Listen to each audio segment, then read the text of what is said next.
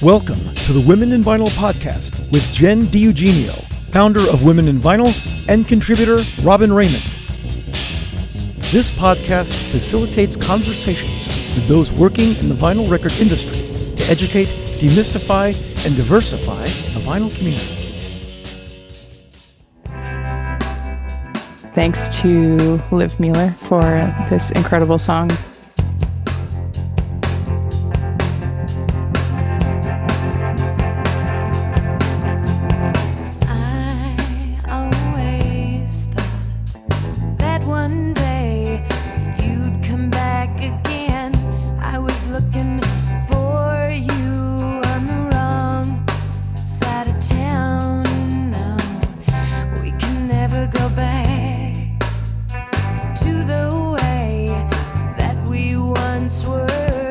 Thank you for listening to the Women in Vinyl podcast. This episode, we're talking to Caren Kelleher, founder and president of Gold Rush Vinyl, a record pressing plant in Austin, Texas, named one of the most innovative companies of 2020 by Fast Company.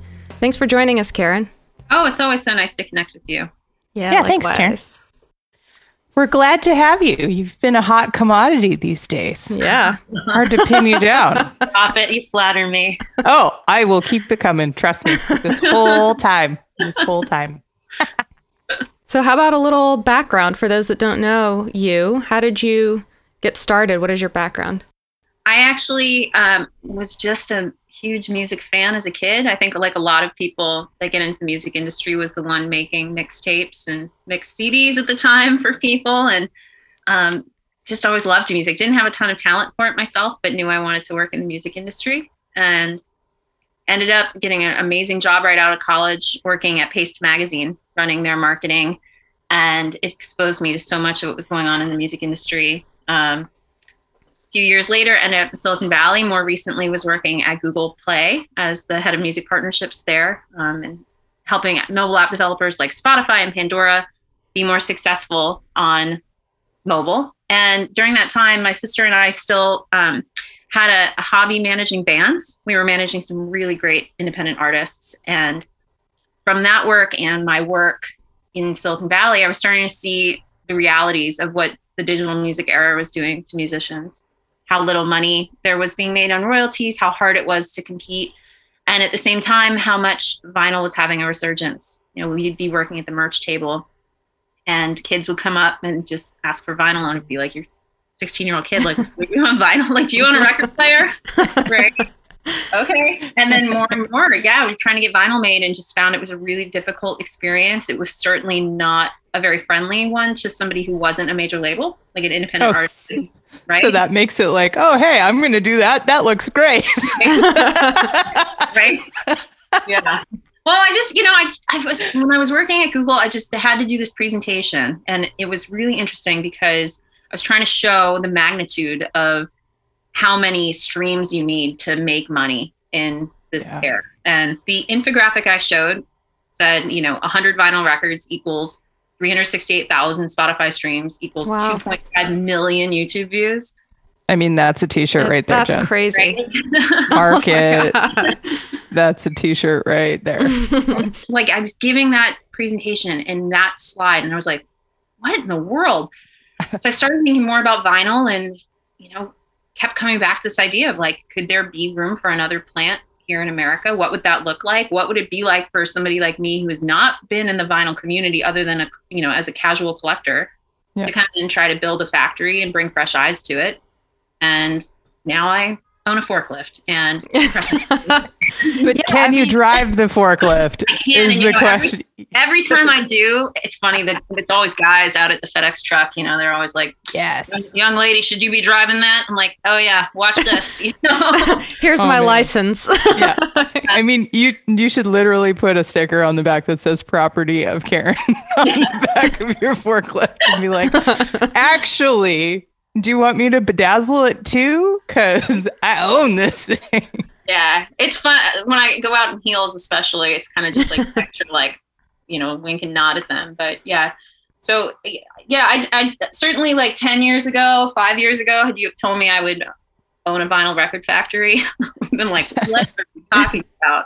And people thought I was nuts. I mean, I have luckily my family didn't. My friends, people who you know whose opinion I really care about, but Yeah. lots of strangers had lots of ideas. I mean, I kept getting told over and over again, like, you're not going to get money for this. It was very definitive too. People weren't like, hmm, that's an idea. They were just like, you're never going to raise money for this. You're never going to get it off the ground. You don't know what you're doing. It was so like just so many people trying to point me away from it. And so it makes me really proud when I come in here and see, you know, there's a full staff running here and Yeah. all the records Yeah. we get to make. And uh, Yeah. I love it. I didn't know I'd love manufacturing so much. It is so much fun. you know, I think most people would probably find a label or some other way to be involved with vinyl. So I think it's really awesome and I'm excited to have you on here to talk about it because you went to like the beginning, you know. you weren't just like, "Oh, I want to get into vinyl." You're like, "I'm going to open a pressing plant." Like that's that's awesome. Had I known how much goes into it, uh, maybe would have rethought that. But uh, at the time, naive me was like, oh, yeah, we can do this. And, you know, it's every day's a learning. Every day's a new learning. so besides people looking at you sort of like you were crazy, what other challenges did you come up against? I mean, like how did you even figure out, you know, these are the kind of presses I want? Um so what was that journey like? at the time there weren't really many options i mean one of the appeals of getting into vinyl manufacturing at the time was starting to see new machinery come online you know i had been told oh it's just impossible to find these old machines you'll have to you know sell a kidney and you know go to a foreign country and you know do a deal in an alley to get a machine like that's the kind of mythology that was around the vinyl pressing machines so when new machines started coming online um, although they were more expensive it than an old machine felt like a path forward on that Right. um, you know, but I think one of the biggest challenges that we had was there just aren't very many vinyl factories in the US. And certainly the bank that I worked with to finance this hadn't ever seen a factory build out before. And so a lot of our a lot of our comps that we used to figure out how much it would cost to build this and maintain it and run it were incorrect.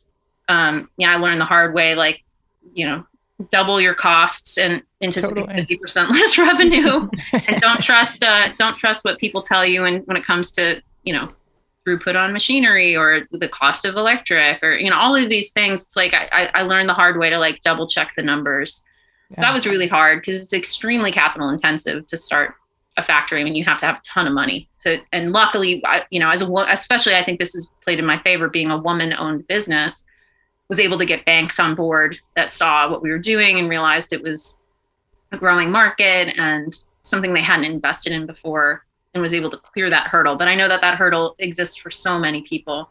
Um, and I was really lucky just to find good banking partners that would help me with that. What made you choose Austin, Caren? Because you were out in, in California in Silicon Valley. What what made you be like, hmm, Texas? That seems like a good idea. You know, I had an Austin keychain on my keyring for like 10 years for no reason. I don't have any family. Well, now I have family here, but I didn't at the time.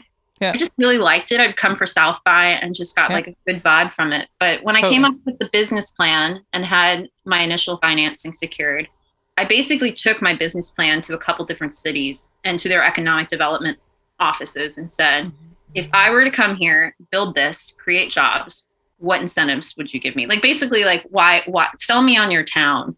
Yeah. And Austin really just every door felt like it was flinging open. They really wanted Gold Rush Vinyl to, to live in mm-hmm. Austin. It was a piece of, you know, music business that would boost a lot of the local music economy. And Texas is just a really easy compared to California, especially easy Yeah. state in America to do business in. They're very you know, low regulation, like just get to work, create jobs. And so we were able to get Gold Rush Vinyl up and running. From the time we got permits to the first record off the press, it was two months, which What? is crazy. Yeah, Wow. yeah. That's bonkers. You you know of people that were trying to start a factory in California, and it took them Wow. two and a half years just to get through permitting. I mean, Yeah, Texas of course. really was the right place for me for the speed I wanted to move at, and a, a place I felt like if I was going to plant my life somewhere that I'd be happy to be for a long time. That's helpful. Yeah.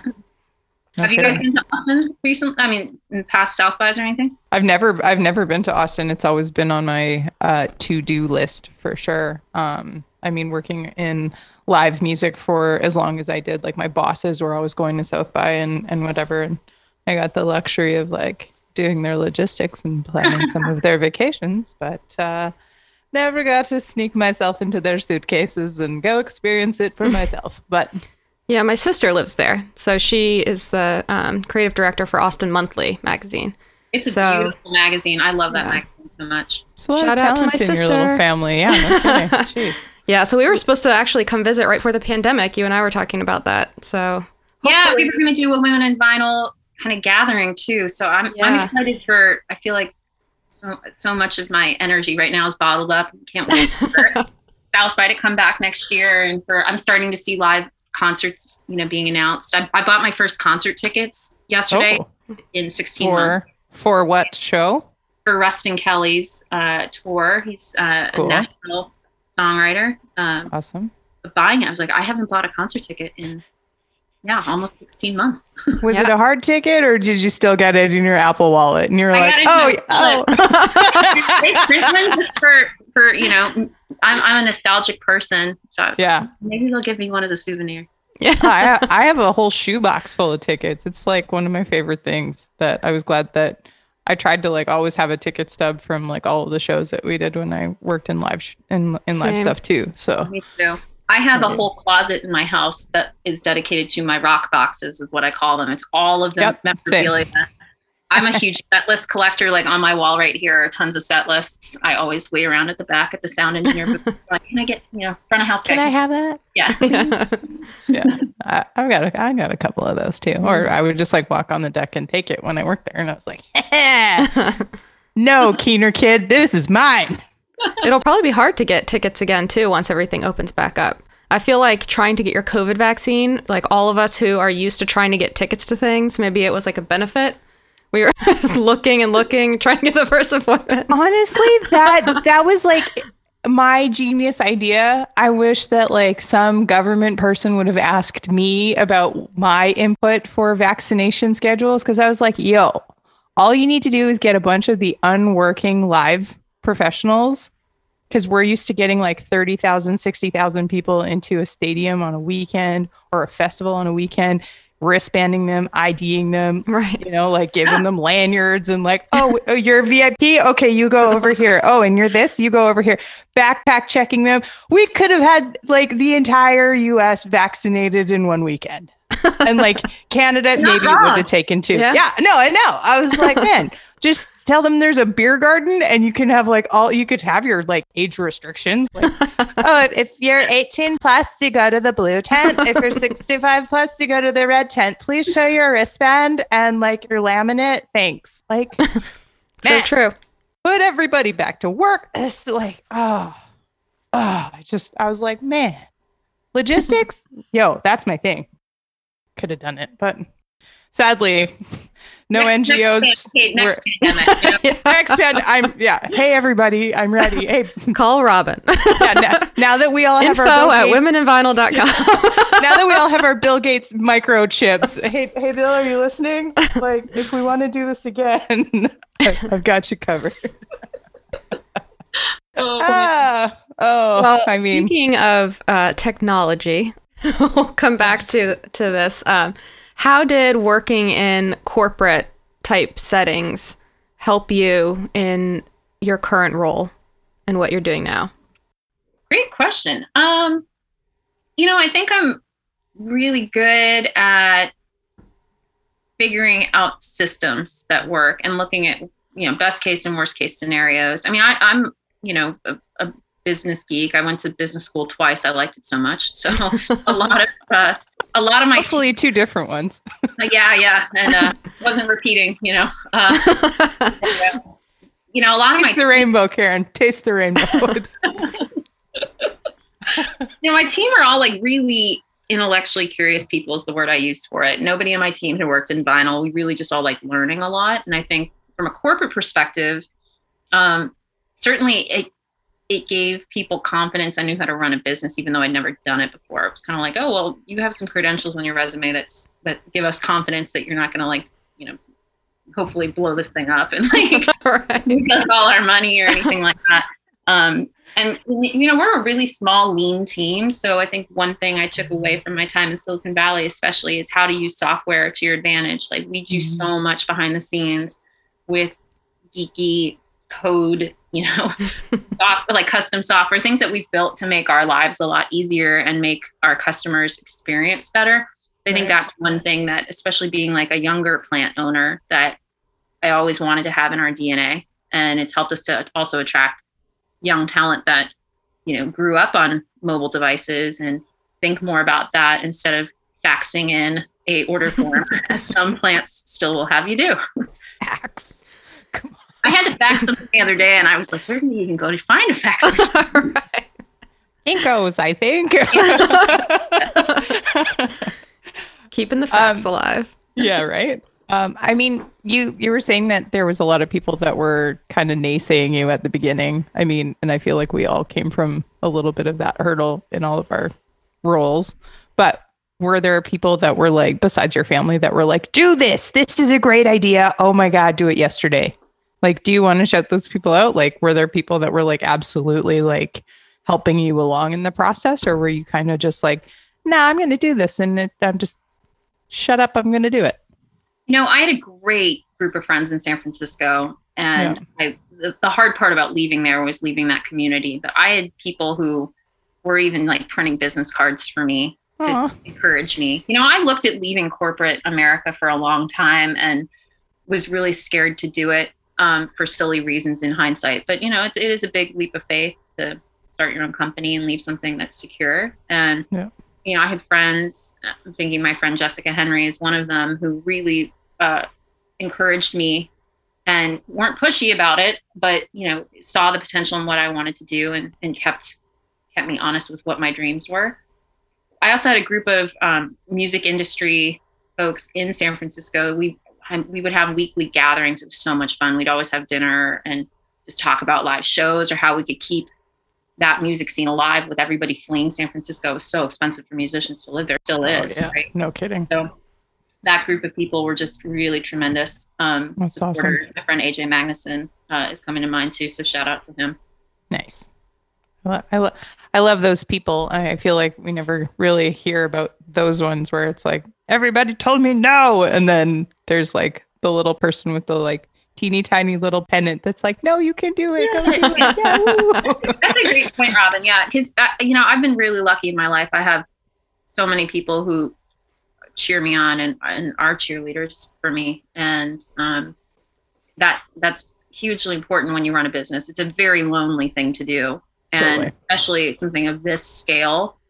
Um, you know, I was just talking to one of my other you know favorite friends and champions, Mina Choi, who's a fantastic musician and composer, and we were talking about just even when you're you're down and out, you still got to put one foot in front of the other and march on, whether you're scared or facing really tough challenges. Like you just have to keep going. And when I, when I get down on myself, you know, it's it's hard not to have a pity party sometimes, you know. But I have friends who just kind of pick me up and say, "Hey, get back on your feet and uh, Yeah. and keep going." No, that's awesome. I mean, it's it's it's hard, especially being the leader, you know. And when you get bogged down and you're like, all of these people are depending on me. I mean, that's obvious, obviously opposite from like what I do because it's just like one woman show, do, do, do, do. but uh, the only person I get to let down is myself daily.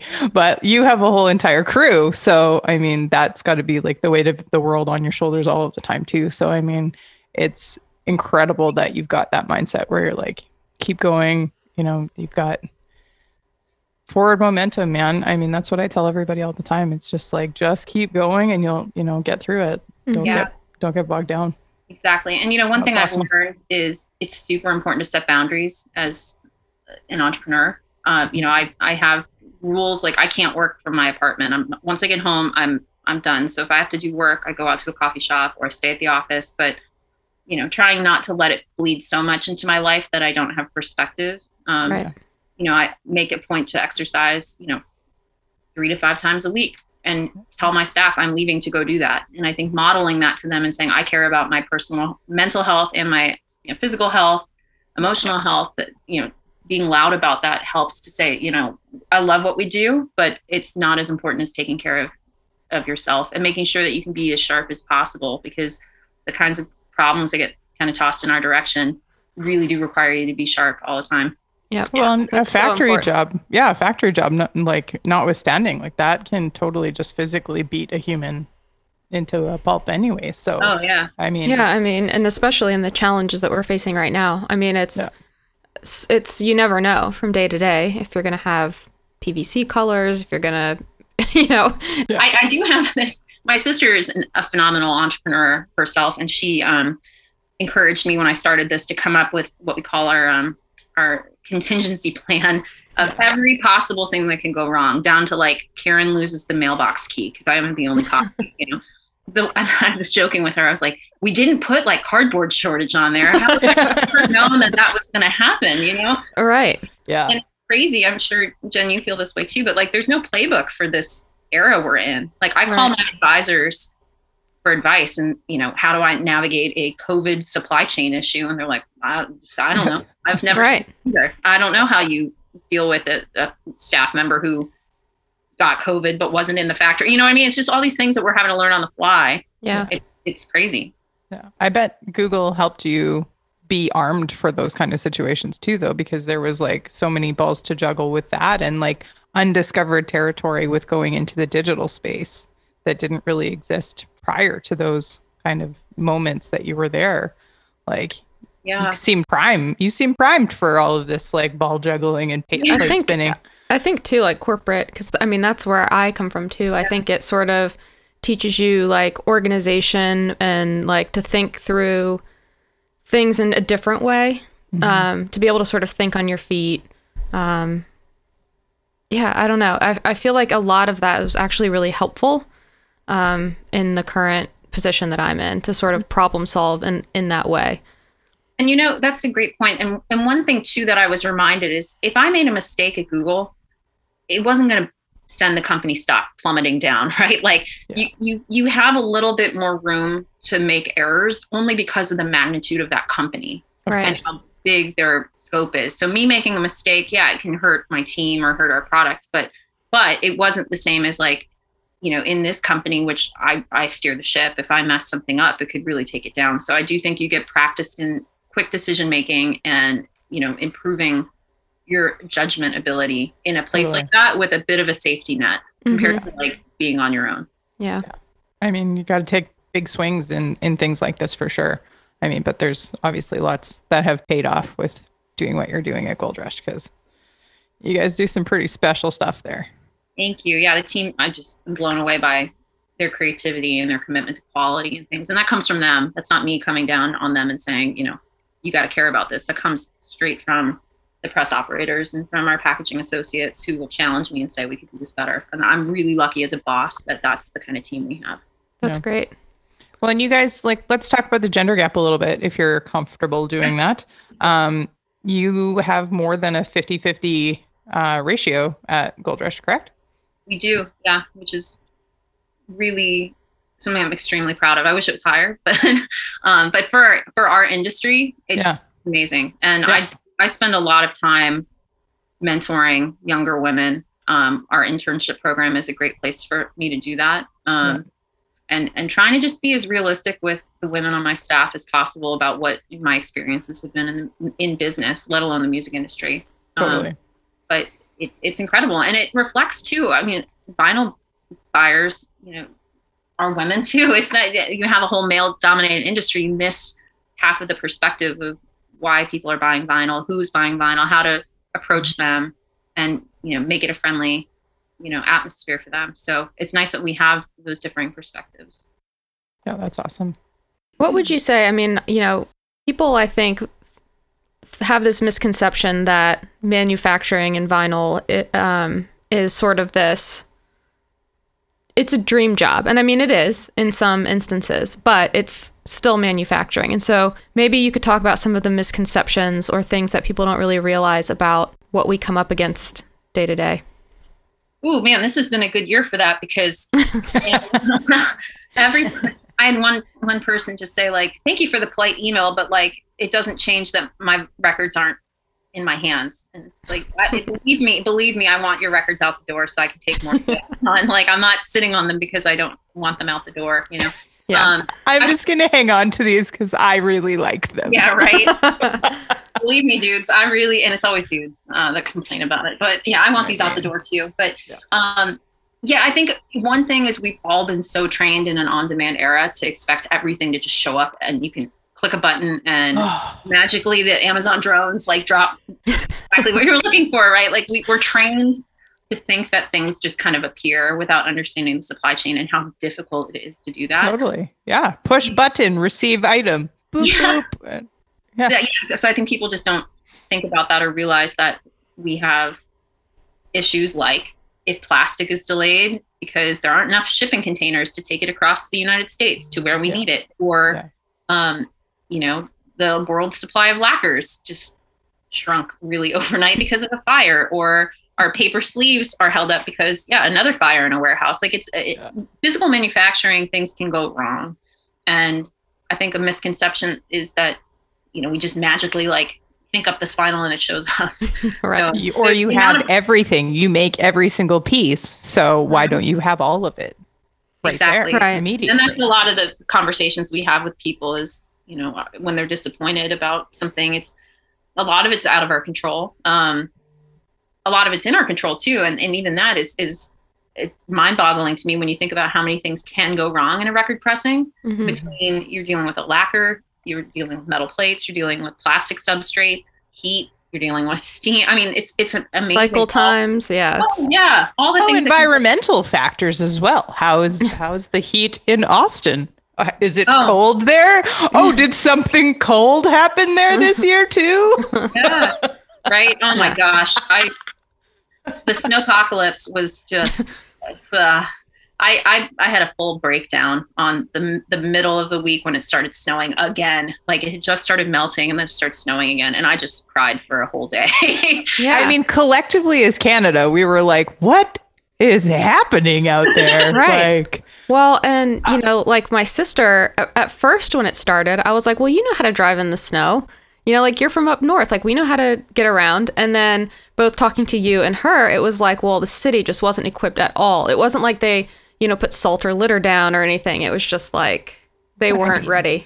oh it pipes, was nuts pipes aren't insulated. Like, you guys No. don't know how much stuff goes into our infrastructure up here to be able to habit to these weird spaces. Like, Yeah. you're, you're counting on Oh. everything not freezing for half of the year. wild I'm, I'm really proud of the team kate isaac and ian in particular on my team weatherproofed the factory before when it looked like it might snow they went ahead and just drained all of our pipes out like Wow. Amazing. the last drop that we could of water so when we Yeah. came back we didn't have any pipes broken except a city water line pipe to our toilets you know so That's amazing. that's the one thing that happened great You're right. Yeah. Yeah. I mean, how, like, how long were you guys shut down because of that, Caren? we were shut down for a week and Yeah. even if we'd been able to get in here the city of austin um, mandated that all manufacturers stop operating and in fact i mean we're a small factory but you know big samsung semiconductor factory was forced to shut down that's a ton of work in progress inventory that's lost it was a huge huge economic um, Yeah. issue for the city of austin but especially manufacturers um, it, yeah, it was, it was pretty wild. And we're, you know, but even then you're telling customers, sorry, we can't physically be in the factory to press your records right now because we can't get there. Yeah. Like, Right. What do you mean you can't get there? well, I'm not going to force my staff to go in on a snowstorm and press your records. right. But It anyway. is. It's crazy. Yeah. Oh, what were the what were the uh, animals called that uh, Luke Skywalker got Oh, in Ewoks? on? No, uh, he cut, he cut the one open and he like buried into it on Oh, Hoth. yes. I never remember what that one is called, but you know, like let me just saddle up one of those. Sorry, Star Wars geeks. I mean, it's not it's not May fourth anymore, so get off of me. Um, you know, that he just, like let me just like hop on one of those and I'll beetle down to Gold Rush and I'll just huh? They were called tauntauns. Tauntauns, yes. Thanks, Mitch, coming through with the trivia. Mitch, everybody, Mitch. you know, like it's like weather stuff is is things that people don't understand. I mean, like I had a power outage the other day, and I can't cut any records when I don't have any power. Mhm. It's like, a very, yeah, it's a very physical thing, you know, that happens here. And, you know, we have a facility where, you know, during COVID, you have to be really careful who's coming in and make sure everyone stays safe. The, Yeah. You know, the funniest thing that happened to us all pandemic year is we had a raccoon infestation. oh my god. Babies. I know they were tiny. So we went into the Oh. factory and uh, you know, our morning shift crew looked on the floor and all of our pipe insulation was on the floor. And we looked up and this terrified baby raccoon at us. Like, I didn't mean to get stuck here. And, uh, you know, trapped it. And then in the middle of the night, mama back. must have came and rescued it out of the trap. And uh, yeah, they came back again. So They were like, "We're music raccoons, damn it!" we're joking. We're going to write a children's book about Rocky Raccoon that, you know, broke into the factory and wanted to press records. And that was his dream. I mean, I'll Wouldn't that be funny if that's that. what we no make? Uh, problem. yeah. If that's what, you know, is the bestseller is our factory book about the raccoon. So. oh man, you've got to do a merch line with a raccoon on it. We, we, uh, we, we do. I wish I had it here to show you, but yeah, we've been buying stuffed animal raccoons for uh, clients that have babies and sending it with a little Gold Rush T-shirt on it. So That's yeah, amazing. I mean, I don't have a baby, but I'll take one of those for sure. is, rock. the baby the like the bar for entry? Because I have a dog. Does that count? Jenn has cats. I'll send up in it with fair pack. They're a little mascot now. yes. Oh man, there was a raccoon that greeted me just as I got home yesterday. It was the best day, best part of my day. He was like He was sitting on top cute. of this little trash pile, and I was like, "Look at him, sweet prince!" And my my dog couldn't even see him because he was like perched up a little too high. Because usually Parker loses his mind if he sees a raccoon, and like we never see them out west in in Canada because I I mean I guess they don't have to come into the cities to eat, so they stay out in the woods, but. That was like one of the best parts of moving to Toronto was seeing all the trash pandas all the time. Trash Panda is our fake band name at the factory. oh, this is I great. we- yeah, we're we're the going. whole other We- side hustle. We're going immediately. Well, speaking of, I'm so curious about um, how uh, the lawyers for the Beatles found out about your uh, other business venture, the Octopus Garden. Yeah, so when I was a kid, I I was super creative, and I, w- I I have the best parents in the world, and one of the reasons they're so wonderful is they never ever told me my dreams were silly. You know, I'd come to them with these business ideas or you know creative ideas, and they always were encouraging, even if it was nuts. They'd nod their head, uh huh, great. um, but I had this idea as a kid for uh, an, like a Hard Rock Cafe kind of Beatles chain restaurant called the Octopus's Garden That's amazing. and I drew up a floor plan and came up with menu ideas like Yes. Mean Mr. Mustard pretzels and oh my God, it's amazing. glass onion rings. I mean, I went pretty deep, and my parents thought it was really clever and, and explored getting it intellectually protected, and instead cease and desist letter from the Beatles lawyers. That was the first of two times in my life that would happen to me with the Beatles, but. Um, I still, I still think it's a good idea. So maybe their estates will see the value in it someday. Yeah, I mean, you only Do have you to still have those as like trophies? Because Somewhere, yeah. My parents oh, were so sweet and saved so much of my childhood. drawing. laminate it and put it in a Yeah. in a binder, and then we're gonna actuate this. Clocks ticking, Ringo and Paul. Clocks ticking. Yeah. I mean, besides the raccoons ripping all of your insulation out, like you guys have been kind of innovative and leading the field in trying to be as energy efficient and environmentally friendly as possible. Can we talk about that, the, like those kind of parameters of the of the factory?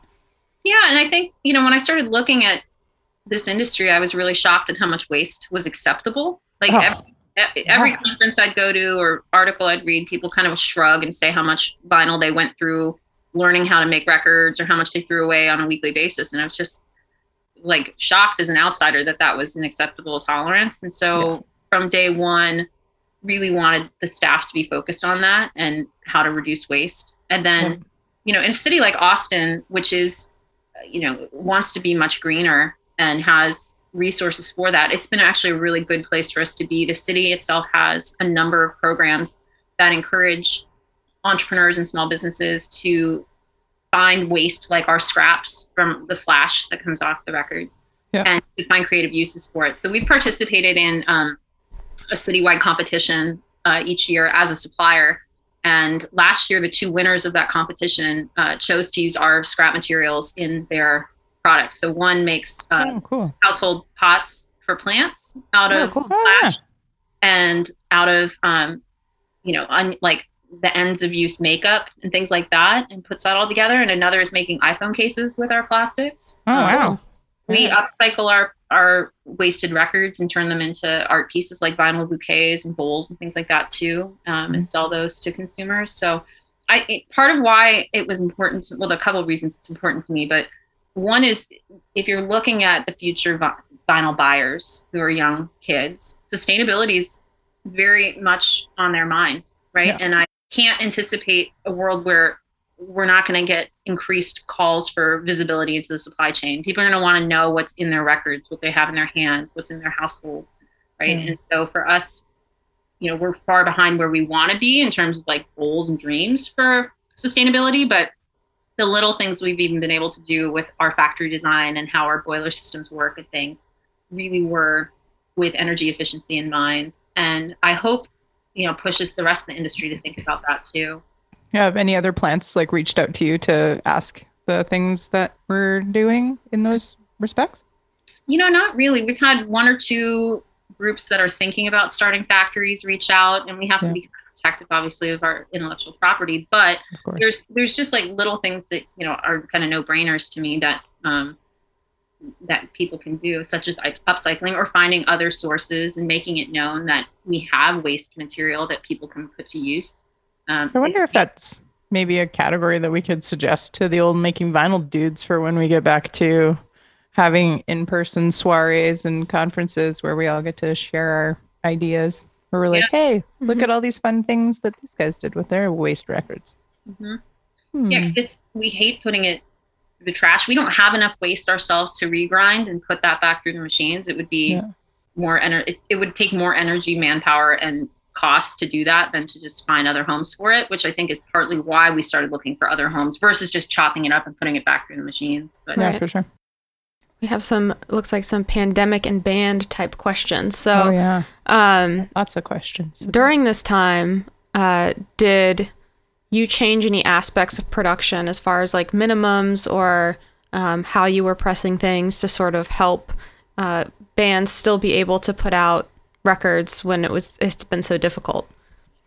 Yeah, I mean, I think the biggest thing that's changed for us is uh, it's it's really frustrating to talk about is you know our turnaround time, which was our kind of competitive advantage, has been destroyed pretty much. Well, I'll say this: it for independent artists, it's Right. I see it as very long. When I hear uh, what you know the labels are looking at, you know, not getting things on a press for 50, 50 months, you know, you're like, okay, well, or 50 weeks, excuse me. Uh, I was like, wow, four years? That's some planning. right?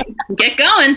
Uh, no, it, you know, we're, we're at 16 weeks right now. We used to be at six. And so that's really made it difficult for us to be able to fulfill our promises to smaller bands that aren't thinking about planning for vinyl that far in advance and Yeah. certainly, you know, needed it now. Like I understand when customers were upset with how long it was taking because they were living for the past year. Independent musicians in particular have been living off of vinyl revenue. There Mhm. have been no shows. You know, what else? Nobody was putting out records to tour against. So vinyl and merch were critical. Yeah. And so the team is and I've been like really focused on trying to get those turn times back down to help independent artists get through this cash crunch. But you know, a lot of that was supply chain issue. For reasons I still quite don't- don't understand, we also were the only manufacturer in the city of Austin that was forced to shut down during the, the initial shelter in place Oh, like crazy. if you went to the city website it said like hospitals open libraries closed manufacturing open vinyl record manufacturing closed Weird. Except for you, Caren. You're closed. and we're the only ones here Feel a little singled out there. I feel attacked. I feel attacked. You're like, who do I have to buy a coffee for? Man, did i forget Wow. the parking ticket i'm sorry took You the know, mayor's parking spot. yeah, because we were able to stay open. We fell into the manufacturing category and we had, you know, enough of a warehouse that we were able to stay open through it all. yeah i mean we have a big enough space and actually Jenn we used furnace as a reference to say there's precedent for us to stay open and Yeah. Amazon in dallas as well and um, i don't understand that but you know it put us behind schedule and one of the hard things that happen when you turn a factory like ours off for that long for 3 Mhm. weeks and try to start it back up it's like a grumpy teenager trying to get them out of bed you know it's just it, one thing after another after another was breaking. And so I think the hardest part for me as a leader in this year has been watching best laid plans just go off the rails for reasons Yeah. that are out of my control. It's taught me to to let go a little bit more, if that can be a positive from it. Um, you know, but now we're we're starting to think about okay, well, what can we do now? Live music's coming back. We took on some larger orders and decided, you know what, that's not really our sweet spot. So it's given us a chance to rethink who we are as a company, the Mhm. clients that we are best situated to serve, and how to get back to that and stay focused. Yeah, honestly, I feel like we did that too. Like, you know, it really was a time for us to evaluate what our capacity looked like and who we were best able to work with um, now and moving forward. I think it was good for that. and it, and it was really hard at, at the when vinyl tanked in April. All, all the plants kind of saw it dry up because it was just so much uncertainty. Right. It was really difficult not to take everything that was coming at you because you didn't know if that was if work was going to flow or not. I mean, I hate to say it, but I was like really scared for the vinyl industry because so much of what we do here is around tours. Right, musicians come to us because they need tour inventory ASAP. Yeah. You know, with tours gone, I was like, man, I don't know what this is going to look like for us. And so we we started stepping outside of our our our lane, if you will, uh, of what we're good at, and learned not to do that. And so it's been reaffirming, yeah, if nothing else, to say we know the clients we want to serve and what we're good at, and let's just refocus on that. So And I'm curious now what's sort of going to happen. And I think it's good. And hopefully other plants did that too to sort of find who their market is because, you know, if you have different people serving different markets, I think it's a better future for vinyl to survive because my concern was, well, now lead times are so long that what if people start thinking, well, now it's becoming too boutique again, or I have to wait too long, or it's too expensive because people are trying to get their stuff in. That what if it does lose some sort of, you know, the upward trajectory that we've been seeing because of that? And so that's been sort of something in the back of my mind that I'm like, you know, I hope it doesn't go in that direction that it becomes hard to get because everybody's waiting so long.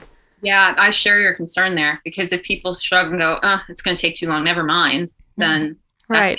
move on to some other form of entertainment or put their money. I mean that that's kind of been like a godsend for me, honestly, is like the turnaround times for plants is starting to give me a little bit of an edge where I'm like, well, you know, you don't have to get a lacquer cut and you don't have to get plated. I can just cut directly into your record. So you might pay a little bit extra, but you'll get re- your records quicker. Right, and versus not having them to sell at all, and that's, And that's exactly it. Yeah. that Right. was the problem I saw as a band manager when it was it, it was either have vinyl or don't have vinyl. There's and if you didn't Right. have it, you only take that tour once and all the money that gets left on the table. So Totally. we've even seen Robyn, we've seen like lots of clients moving into lathe cut and, and just doing shorter runs just to get you know have Product. and appropriately pricing it for fans and saying this is such a rare thing. You know, we're gonna price it appropriately to make up for honestly that's that's been the biggest one of the biggest hurdles is like i get asked probably 12 or 20 times a week about doing 100 and i'm like you don't want to do 100 with me trust me also i don't want to do 100 of your record but like But it's a then- good stopgap for sure. I mean, if someone puts in a vinyl release and needs like 50 to Yeah. promo, I mean, that's perfect. it's true but i mean the the price point is like you know you're looking at like a 30 or 35 bucks a record for me to do it if you get Right. like jackets and all that kind of stuff and they're like wow you know if i got them pressed that they would i could sell them for $25 and make a profit i'm like well it takes a plant like 45 minutes to do a 100 and it takes me like 40 hours so sorry but like Yeah. I, I am a maniac and I am a workaholic, but like there are limits as to what the human body can do, my friends. yeah. with with that um in mind, Caren, like have you noticed like some trends or common requests from the people that you know you have been taking orders from in the last year? the best trend is that vinyl sales are just explosive. You know, Yeah. repeat clients where I know what they what numbers they were doing previously are coming back more frequently with repress requests and with That's awesome. quantities. It's awesome to see that, especially for back catalog stuff. And we're, I'm I'm not talking like, you know, legacy catalog stuff. This is bands that put records out in 2014 coming back for repressings of those titles and at quantities that are really encouraging That's Um, awesome. that's a great trend. You know, we used to do about 75% of our pressings were black. I would say now it's maybe 25%. Like Okay. a shift towards color and the kinds of crazy color combinations people are asking us for. I think that reflects that there's just a lot of vinyl in the market and trying to differentiate and, and make it worthwhile for a fan to buy it, buy it now. Right. Or buy two of them, buy the black one and buy the the wacky color one. Exactly. Collect them all. Totally. Yeah. Okay. That, that's a trend I've been seeing a lot too. Um, Gold Rush just uh, um, kind of came up with like a subscription um, service. Can you tell us a little bit more about that? Because that's, I mean, with the artists that you guys are working with, like it's a very alternative to like a, an alternative model to like the Vinyl Me Please and like um, the other ones that I can't remember. There's Yeah, so many there's of them now, but There really are. we uh, every summer our interns research the the vinyl subscription market for clubs, and they come back with like ten or fifteen more each summer. yeah, I know it's bonkers. yeah, for us, you know, we've been talking about doing a club for a while. Um, as a way, ultimately, like our goal as a company has nothing to do with vinyl. It's um, our mission is to help musicians make more money. For us, one way we thought we could do that is to create a uh, consumer demand for those records. So we get lucky, we get to hear great music before anyone else does. And sometimes something comes across our plate and we're like, wow, more people should hear this. Totally. Since the biggest kind of investment in vinyl is the upfront cost and the setup, by the time we've gotten on the press, for us to run an extra 100, 200 records is not a big deal compared to starting the process at the beginning. Yeah. And so for us, when the pandemic hit, is when we launched the Vinyl Club. And it was in part to help musicians earn a little bit more money Mhm. um, for us too it was about you know diversifying where our revenue was coming from so it wasn't all just manufacturing but we start tiptoeing into consumer Yeah. um, and it's been really fun i think it's a nice thing for us to be able to do too for clients that Totally. are are excellent clients is to say hey we'd love to write about how great your record is and put it in the hands of people and because we're manufacturing them you know our costs allow us to do two records instead of one at the same mm-hmm. price as the other vinyl clubs so you might not know the artist we're sending you but we hope you trust you know our our reputation enough to take the recommendations we're giving and, and give it a try so it's been it's been a fun experiment for us to see how that's received Yeah. No, I Yeah, I that's love a cool that. idea. It's it's something that I'm kind of like kicking around in lathe world too, where I'm like, oh hey, I really like your band. Maybe I should just uh, make ten more because I talk about it on the internet all the time, and people are like, how do I buy that? And I'm like, well, you got to talk to the band. so it like it makes it a little bit easier to maybe have some on hand. So when we talked to our independent artist clients about what else we could be doing for them that kind of came through loud and clear was like help us put our music in the hands of more people totally. because they're not musicians and i know this from working with them very few of them have business at the front of their mind right that's why they're creative that's why they're musicians and they're very good at they're very good at music right Right. like Yeah. understatement of the year right As Uh, a reformed musician, I can tell you I do not belong in the business space at all. I'm like, what am I doing? Why are you're paying me money? This is weird. I don't know what to do with this. Yeah. So we're i mean we we know how to do that. And so for us it was you know we were talking more and more about what we could do. Is it exposure? Is it helping you sell records? And it kind of felt like well let's try this and see if this works. And you know if we can turn people on to new music. And um, it's it's been fun to do. It's been tied i mean because of supply chain delays and stuff you know we had a calendar of what we were going to put out and that's all gotten kind of thrown around. So our subscribers have been really patient with us. But um, it's really really fun for us to to do that every month That's awesome. What's sort of the next step that you can share, obviously, with Gold Rush? Like, are you hoping to step into plating or expanding on the amount of presses you have? What's sort of your goals? Yeah, we are um, looking at an expansion. So one of the things that was, a, I mean, I, this already was a big swing at the fences, right? To go open a factory without having run a factory before. So why stop there? right. well, the way we built the factory, we had we have space for six presses. We have two right now. Yeah. We already did all the work on the infrastructure side to allow for that. So when it comes time for expansion, we just have to drop a new machine and we don't have to do any construction or you know, I've already paid for all of the infrastructure. So I'm glad the vinyl market is booming because now I won't look so silly for having done that. But Yeah. So we're looking at expansion. Um, we've got a couple other tricks up our sleeve we can't talk about yet, but I will be back on a future podcast. I'm sure about that. But Oh yeah, of course. yeah, it's been it's been fun to be able to dream again. I think when I talked to our banks and advisors at the top of the pandemic last year, the sound advice I got was keep your head down and just stay afloat. That's all you have to do this year. Like this is not the year for big dreaming. It is Yep. stay afloat, keep your people employed, and then we can start dreaming again.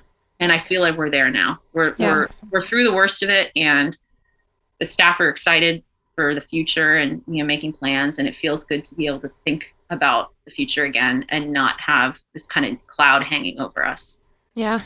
With the pandemic notwithstanding, is this venture living up to what you thought it was going to be when you were like, I'm going to start a record pressing plant? This is what I'm going to do. You know, it's funny. Every year I look back uh, at the original deck that I built that I took into the bank and Yeah. said, I want to start a factory to see how it holds up. Yeah. And um, I had no idea how much m- more fulfilling it would be than I thought to create jobs for people. I think that is absolutely the coolest part of starting a business. That's I- awesome. don't make nearly as much money as I did in corporate America, right, as a small business owner, but I would trade that in a heartbeat for the amount of like just energy and good feelings I get in this work. And it's so much harder than I thought it would be. It- it- just in the, you know, like I said, the contingency plan had lots of things on it. And then you find out, oh my gosh, I need a couple more pages of things that could go wrong. Um, but, uh, you know, it's, it's so much fun. And when you get to, especially like when we have local artists can pick up their records here, when you get to be a part of that process and watch them physically hold their record, something that freak out. It's so the much- right? Because digital Yeah. it's not the same. It's not the same when you see it on Spotify. It's this is a physical manifestation of so much work. It is absolutely rewarding to be a part of that. And that was the piece that I didn't have a big enough imagination for. Yeah. Yeah, That it's is- a it's a powerful thing when you when you hand over that that physical copy. Like even if you, I mean, for my land, when you do one and you give it away to the to the person, and they're like, And my seeing God, people like thing. enjoy it, you know, uh, like consumers too. "Do you have a record that you guys have done that you can talk about that you're super geeked about?" Oh man. Well, I'll tell you one we did. This is a crazy story and it's entirely true. We um we pressed a vinyl record for Skittles, the candy. um, so when you said taste the rainbow earlier, Rob, So we pressed a, it was for their Super Bowl ad, which actually wasn't an ad. It was a um, musical on Broadway starring Michael C. Hall from Dexter. and we had to do this record. It was like a three day turnaround on this project. And the record was the score of the musical. And then on the backside was ASMR of Michael C. Hall eating Skittles. It is the weirdest record we have done. We didn't know what we didn't know what was to be on the record until we got the, the file and the lacquer. So it doesn't stop there though, because so we finished this record and it's it's you know it looked beautiful. It was on blue sky blue vinyl. We sent it off. Um, the person who was supposed to pick the records up, I guess, missed the UPS cutoff, and that UPS was closed on a Saturday. They Oh, needed shoot. records for Sunday. Um, they called and said, "Can you press some more?" Coincidentally, I was at the factory and a press operator was there with me, so we pressed some more. um, they put me on a plane with two full suitcases of vinyl, and I oh my god. flew it to New York, dropped it off. A courier met me at the airport and took it, and that is the links that we will go to for a customer. wow, that's I was amazing. to be on a first date that night too with someone, and I, I had to call him and say, "This is really crazy. I have to fly vinyl records to New York City. We'll have to reschedule." That's amazing. For Uh, Skittles. sorry, sorry. Dexter needs me. I'll be back. This is a Thank- true story. I'm not trying to stand you up. That's the best. I mean, the only the only way it could have been cooler is if you're like, I need you to carry some vinyl records with me to New York. Get on the plane, and we're gonna have some awkward plane conversation. This is the best first date I ever. No, it was great, and that that campaign, uh, the the agency behind that was really wonderful, and they won a, a Clio, a couple Clio awards for that. So that was fun to be a part of. That's probably the craziest record that I'm I've geeked out on. Favorite color or effect that you guys do at, at Gold Rush right now? Ooh, the team have been doing just these really cool translucent mixes that that just I can't even describe it. They look incredible. The, last week they made one that looked like a galaxy with had Mhm. Glitter in it and this marbling effect and it, it's just beautiful. Like Yeah, because you guys had um like kind of a contest on Instagram for a while that was, was like name this color or whatever for a while, right? yeah, we were creating new color combinations. We're about to put Yeah. a bunch up on our website. Um, awesome. our, our gallery has been in need of some work but yeah the team just come to me with like great ideas and one thing i love about them too is that they they will sometimes look at what color an artist or, or like a client chose and then mm-hmm. get the artwork and say you know what actually we think we could do something cooler do you want to show them a sample and see if they want this Nice. instead and the awesome. clients are like oh my gosh that's i hadn't thought of that or i didn't know you could do that and it's fun to, to show that we care that much to be able to match the artwork to the vinyl or you know make these kind of crazy wacky things happen Yeah. Yeah. those are my favorite kind of projects from the start where we can sort of talk about what their packaging is going to look like and what vinyl colors or effects might be cool with what they want to do. Yeah. It's fun. now it is your time to gush about your socials and like tell us where we can find you um, tell everybody how they get with the gold rush we are Gold Rush Vinyl pretty much everywhere on the internet. And uh, best way to explore a project with us is to head to our website and set up a sales consultation call with Jonathan, who's amazing on our team here, and Awesome. uh, we'll make your final dreams come true. yes you will Yes. yes you will Thank you so much. This was great. Thanks, Caren Oh, Yeah. I always love any excuse to talk to both of you, and thank you so much for all you do Oh, yeah. for the women in vinyl community. It really is just phenomenal to see the kind of support that women are giving each other in this industry, and it it's yeah, it's just encouraged me so much to like continue thinking about how do we bring more people into what we do every day because it's a dream job. Yeah. Thank It you. It really is. I mean, Mhm. and it's uh, it's people like you taking big swings that are allowing more people to get into those spaces. So Absolutely. thanks for being bold, Mama. My pleasure. Thanks as always to the Arc Of All for our intro and outro music. Thanks to Liv Mueller for this incredible song. The Women in Vinyl store is live now too at womeninvinyl.com backslash store. As always, join in the conversation on Instagram or send us a note at media at womeninvinyl.com. Please check out womeninvinyl.com for past episodes and the amazing archive of interviews, even with me where I predicted the Apollo fire. No jokes. Uh, thanks so much, as always, to Black Circle Studios, Peluso Microphones, and myself, Red Spade Records. Don't forget to like, subscribe, and give us a review on your favorite podcast delivery method. You can also contribute to furthering our mission at patreon.com slash women in vinyl, where you'll find all of the B-sides, deep cuts, amazing extras, and help us start a not-for-profit to further the demystification education and infiltration of more women and non binary identifying humans into the vinyl making space. Thanks for uh, joining us, everyone. This was uh, Caren Kelleher of Gold Rush Vinyl. Yay. Take it away, Henry. This episode has been brought to you by Women in Vinyl, Red Spade Records, and produced by Black Circle Studios. Thank you for listening. Please remember to subscribe, and you can always contact us directly by visiting www.womeninvinyl.com.